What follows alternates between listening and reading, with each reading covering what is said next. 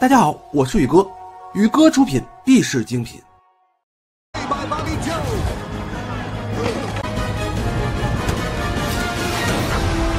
大家好，我是宇哥，今天为你们介绍一部超级励志的高分电影《光荣之路》。话说，我们的男主丹教是一所高中女子篮球队的教练，他有着出色的执教能力，人称常胜将军。德州西部大学看上了他的执教能力，邀请他来校中执教男子篮球队。虽薪酬不多，但这是个很好的机会。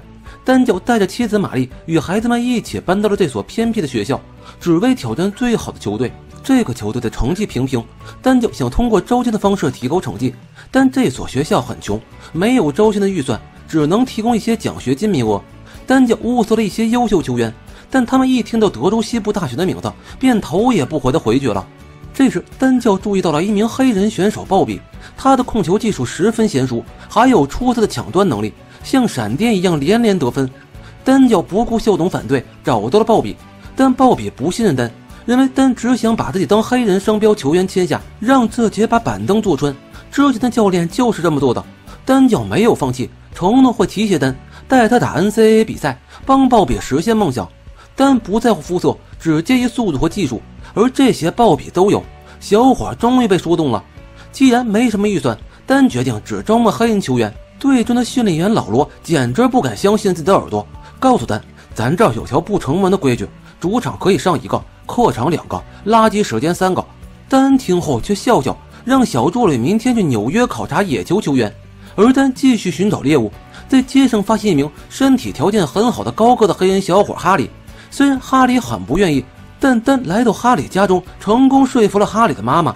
之后，丹又搞定了一个名叫小奥的黑人球员，他给这个自大的小伙上了一课，还顺手教了他一招。与此同时，小助理又搞定了三名才华横溢的黑人小伙子球员。老罗开车将三人带到了德州西部大学。最终，丹教一共招到了七名黑人球员。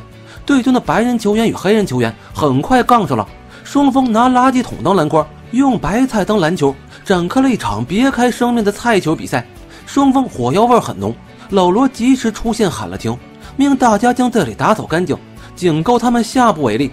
第一堂课，单脚就给球员们立了几条规矩：不许泡妞，不许喝酒，不许夜不就寝，除了训练什么都没有。你们要按照我的训练方式打球。严苛的训练开始了。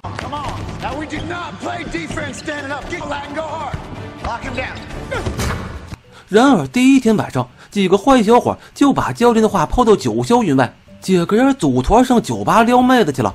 他们喝得东倒西歪，七荤八素。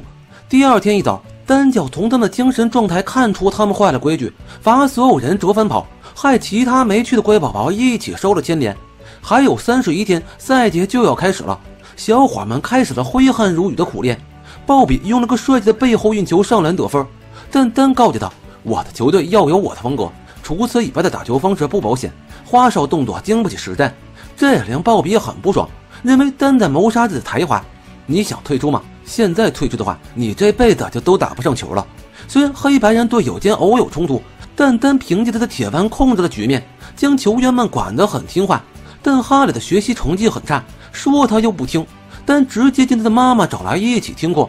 这下小哈里彻底变乖了。谢德在内线表现的畏首畏尾，十分软弱，每次都被强大的中锋戴维欺负得很惨。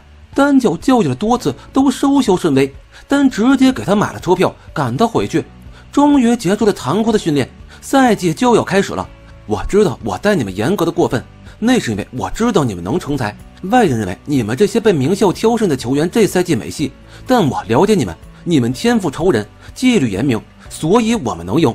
让我们去打响德州西部大学的篮球招牌，名垂青史。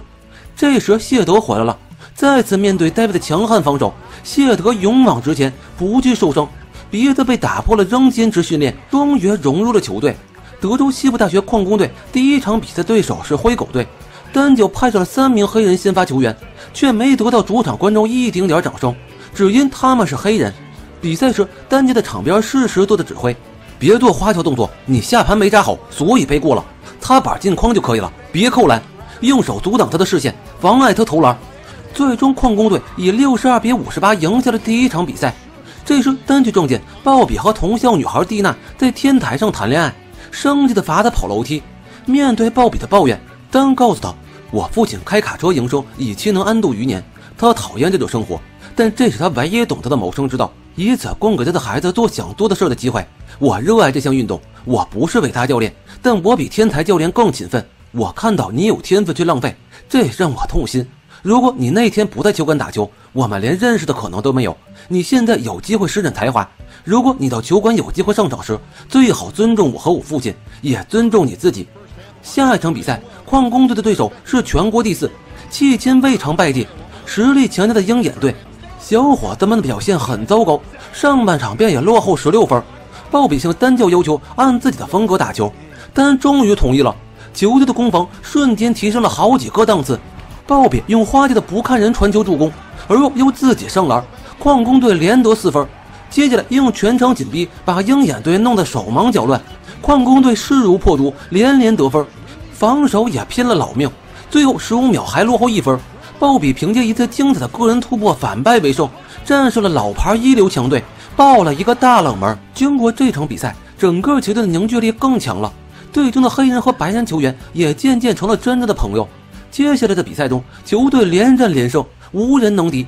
这天去客场比赛时赶上了圣诞节，大家去一家餐馆吃饭，谢德却在洗手间遭到了白恩的袭击，这令所有黑人小伙人人自危。而这时丹才知道。妻子玛丽收到了很多白人寄来的威胁信，玛丽害怕极了。但丹不能放弃这些海盗，不能退缩。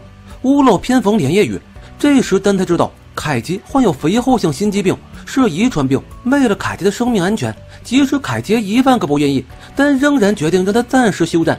下一个课场，矿工队的黑人小伙们受到了现场观众的辱骂，向他们身上吐口水、扔东西。面对敌视的观众。小伙子们控制住情绪，用实力证明自己，比分一直遥遥领先。但客队的比赛动作愈发粗野，裁判还连连吹黑哨。戴维被顶倒，裁判却判戴维犯规，单脚要他保持冷静，把怒火压在心里。该爆发的时候我会告诉你。矿工队最终有惊无险地赢下了这场比赛，排名第四，位于强队肯塔基和堪萨斯之后。NCAA 锦标赛开始还有两个星期，他们也是名副其实的强队。队员们回到客房，房间里的一幕却令所有人吓出一身冷汗。单脚连夜带队员们离开了这里。回去的路上，队员们一路沉默。老罗告诉自责的丹：“你做的一点没错。想想看，他们克服了什么样的困境，承受了怎样的侮辱后取得今天的成绩？就因他们在那些文明人眼中皮肤是黑色的，耻辱的是我们。这次客场比赛，只要矿工队取胜，就能跃居榜首，争取常规赛的同名交易。”可开赛后，球员单打独斗，失误连连，没有配合，没有防守，每人都各自为战，失去了以往的团队精神，球队形如一盘散沙。矿工队的全胜赛季就这样溜走了。单脚在休息室大发雷霆，黑人小伙们表示自己不敢再赢球，不想再成为众矢之的了。队中的黑人球员和白人球员发生了激烈的争吵。单脚告诉小伙子们：“你们的尊严在你们心里，你们不认输，谁也夺不走。”赢球才能让他们闭嘴。矿工队对上了全国第六名的松鹰队。赛前，凯蒂的母亲找到丹教，求他让儿子上场，这是他最后打球的机会了。他上场五分钟还是五秒钟，我都不在乎，只要能让他上场打球。开赛后，松鹰队的明星球员控卫娇娇发挥出色，很快把比分扩大到领先五分。单脚终于将错过了一半比赛的凯奇换上了场。再次开赛后，凯奇通过稳定的跳投迅速得分，提升了全队的士气。接下来的比赛中，双方控卫娇娇与鲍比的表演令全场大开眼界，比分交替上升。单教喊了暂停，你们太在意他们的名字，导致你们打得缩手缩脚。用杰瑞换下了沃斯利。再次开刀，杰瑞通过出色的防守限制了娇娇，助队友连续得分。最后七秒还差两分，矿工队通过一系列传球吊向篮筐，凯奇空接暴扣挽救了矿工队。加时赛中，戴维一记重扣助矿工队取得了艰难的胜利。裁判却判戴维悬在篮筐上时间过长，给了乔乔两次罚球机会。乔乔两罚全中，将比赛拖进了第二个加时赛。加时赛末段，矿工领先一分。最后，乔乔投中了一记压哨三分反超，但因脚踩边线被判无效，胜利又回到了矿工队手中。小伙子们的出色表现，使之前一直不支持启用黑人球员的校董成为了名人，赚得盆满钵满。向丹教诚恳道歉。二十三胜一负的矿工队即将迎来冠军争夺战。他们将对阵由名叫老拉普执教的超强队肯塔基。丹教在洗手间听到客场观众说：“五个黑人肯定不是五个白人的对手，他们都是黑垃圾。”还以为自己有资格站在这里，这让丹教做了一个决定，以彻底消灭对黑人球员的偏见。明天比赛将只派出队中七名黑人球员上场比赛，五首发加两替补。另外两名黑人小伙支持这一决定，让他们尝尝我五位黑人兄弟的厉害。德州西部一个小小野矿大学竟能以七拼八凑的阵容来挑战蓝坛至尊四届冠军野猫队，这是谁都没想到的。从解说员到教练，人人都对矿工队充满了看不起。认为他们能走到这里，只是因为运气好，竟派上五名黑人球员。拉普教练感觉这是对本队极大的侮辱，这也是 NCAA 冠军赛首例。单脚命小伙子们愤怒起来，开场后有机会就扣篮。比赛正式开始，戴维比对手跳得更高，抢到了球权。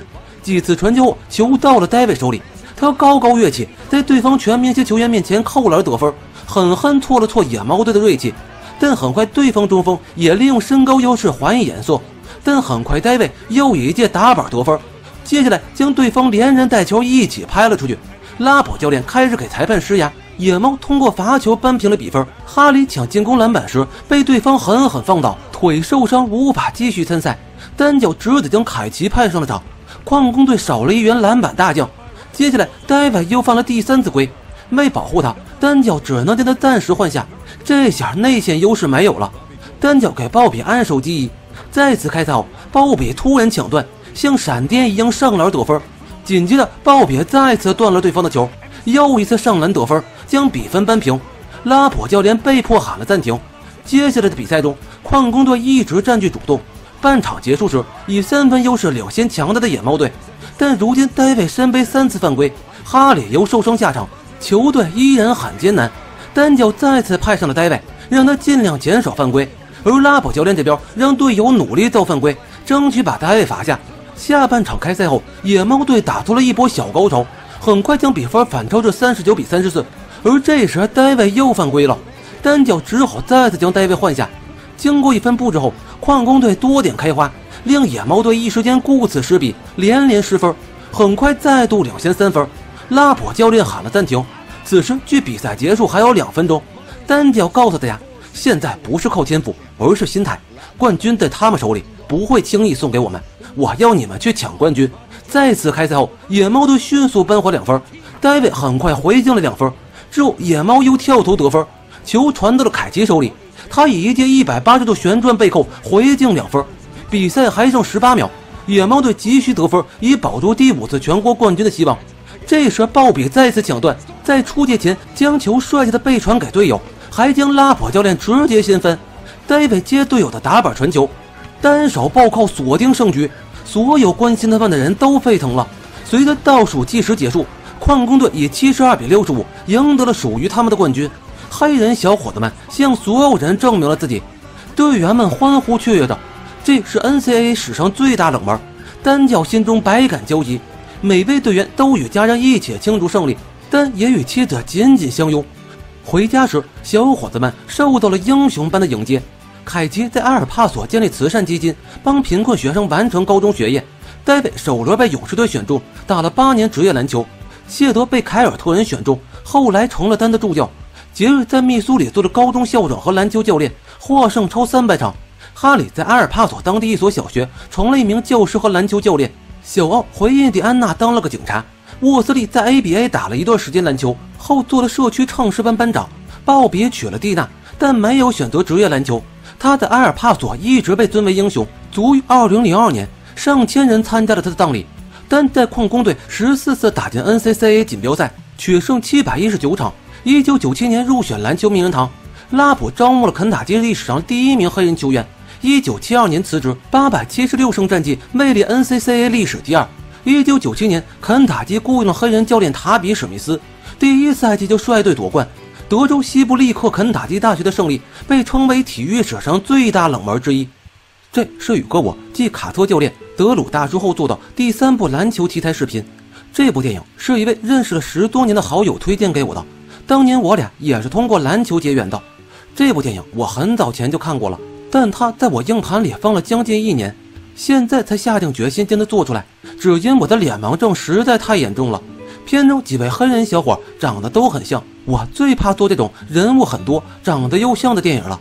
好在万事开头难，虽然费了点功夫，但经过反复观看、加深记忆后，总算将文案写完了，真是满满的成就感。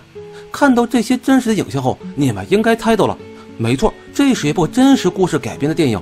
与黑人一样，我们华人在其他国家也会受到不同程度的歧视与排挤。之前宇哥我在视频相助中曾说过类似的话。在国外，我们每一个人的一言一行都代表着我们的国家与民族。我们无法控制别人怎么看待我们，也不能左右他们的思想。我们唯一能做的就是做好自己。只有把自己变得更加强大，才会真正赢得对方的尊重。